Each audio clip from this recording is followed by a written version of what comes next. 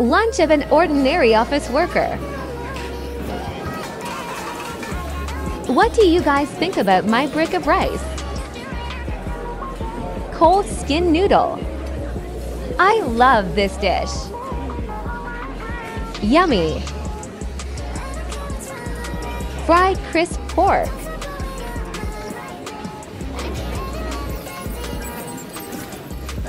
Braised meatball.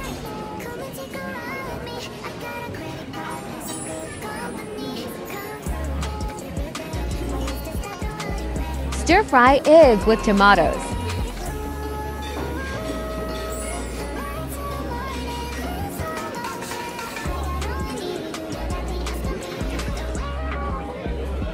Seaweed egg drop soup. Let's eat.